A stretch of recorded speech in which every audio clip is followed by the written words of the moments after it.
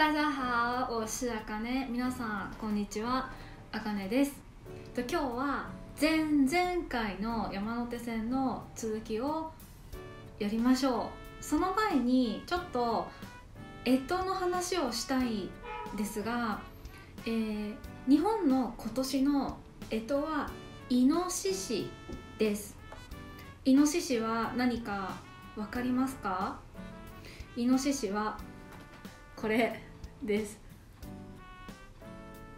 えっともしかしたら皆さんの国と違うかもしれません。特に中国語を使う国の人は違いますね、えー日本語ではこの漢字はイノシシと読みます、えー中国語ではこれは豚ですね。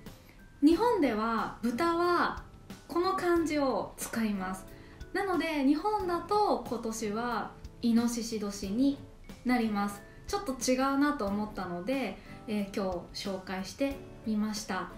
じゃあ早速山手線の名前。今日は新大久保から神田駅までの名前を紹介します、えーこちらは新大久保。新大久保。新大久保。高田の馬場。高田の馬場。高田の馬場。これ漢字を見ると「の」はないんですけど駅名は「の」が入るので注意してください。高田馬場じゃないです。高田の馬場です。目白。目白。目白。池袋。池袋。池袋。大塚。大塚。大塚。巣鴨。巣鴨。すかも。こまごめ。こまごめ。こまごめ。たばた。たばた。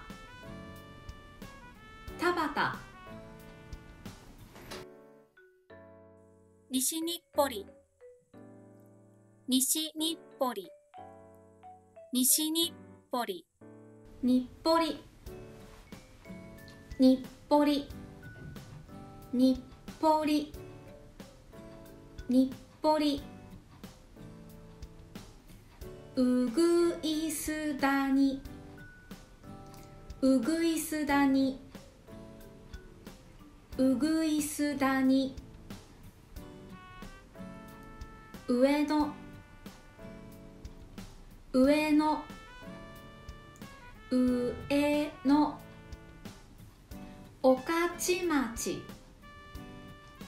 御徒町。御徒町。えこれはちょっと特別な読み方なので注意してください。御徒町です。秋葉原。秋葉原。秋葉原。最後は神田。神田。神田。はいこれで、えー前前回の分と合わせて全ての山手線の駅名を紹介しました。もし東京へ遊びに来ることがあったらおそらく山手線に乗る機会があると思います、えーその時、えー名前をよく聞いてみてください。今日はここまでです。谢谢大家拜拜